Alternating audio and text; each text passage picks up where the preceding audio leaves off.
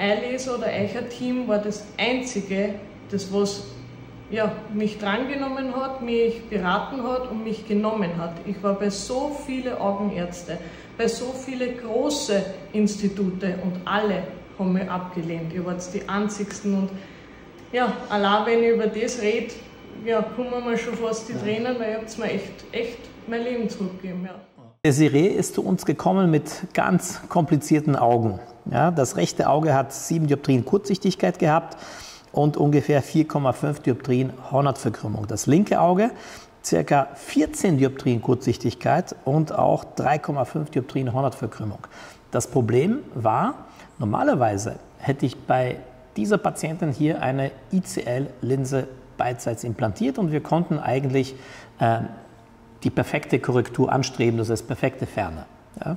Nur wir haben auf der rechten Seite eine relativ dünne Hornhaut, also nicht zu, zu dünn, aber wir konnten keinen vollen Sehfehler auskorrigieren und wir haben keinen Platz gehabt, um eine ICL einzusetzen, also eine Fackellinse.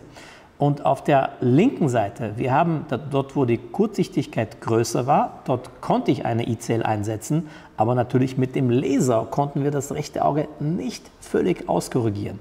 Und sie wurde bis jetzt, sie war glaube ich bei einigen äh, refraktiven Zentren oder Laserchirurgen und alle haben sie bis jetzt abgelehnt. Äh, abgelehnt. Und meine Idee war, wenn wir diese Patientin nicht aus, äh, nicht vollkommen korrigieren können, zumindest könnten wir die Augen ausgleichen, damit sie brillenfrei in der Nähe sieht und für die Ferne äh, würde sie eine Fernbrille brauchen. Das war das Beste, was ich machen konnte. Das heißt, wir haben auf der rechten Seite eine äh, Refraktion von minus 3 angestrebt. Das haben wir mit SmartSight durchgeführt. Ähm, und auf der linken Seite haben wir das Auge mit der ICL-Linse an das rechte Auge angeglichen, auch mit Ziel minus 3. Das heißt, hier konnten wir auch diesen, diesen großen Sehfehler auskorrigieren und dadurch hat die Patientin erstens gleichmäßige Augen und sie funktioniert im Alltag ohne Brille. Zwar die Ferne ist nicht brillenfrei, aber das war nicht möglich, aber der Alltag für die Patientin hat sich komplett verändert. Das heißt, das ist hier eine wirklich eine sehr individuelle Lösung.